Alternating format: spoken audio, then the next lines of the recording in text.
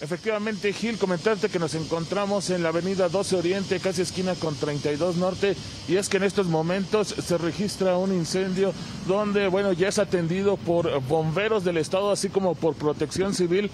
Mencionarte que se trata de una fábrica de algodón la que se encontraba incendiando y una columna de humo fue lo que alertó a vecinos de la colonia América Norte, quienes dieron aviso a las corporaciones policiales y de rescate. Mencionar que en estos momentos, ahí donde se encuentra la patrulla y están bajando los bomberos, es donde se encuentran las otras unidades dentro de esta fábrica.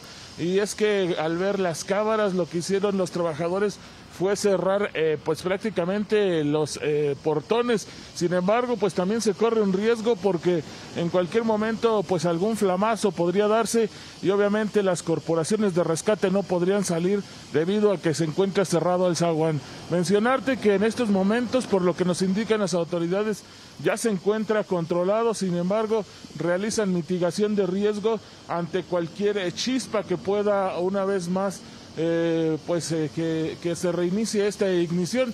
Mencionarte que hasta el momento todas las vialidades están abiertas ya que pues el incendio se presentó en una de las bodegas de esta fábrica de algodón, incluso algunos de los trabajadores tuvieron que salir de, la fábrica y bueno es así como en estos momentos pues eh, las corporaciones policiales son las que se encuentran ahorita pues mitigando riesgos y también sofocando eh, acabando de sofocar el incendio. Ya no se ve ninguna columna de humo, sin embargo, las eh, corporaciones siguen atendiendo el reporte, Gil. Muy bien, Cristóbal, muchísimas gracias por el reporte. Esto, 12 Oriente y 32 Norte, en esta fábrica textil. Nos vemos, escuchamos más adelante, Cris.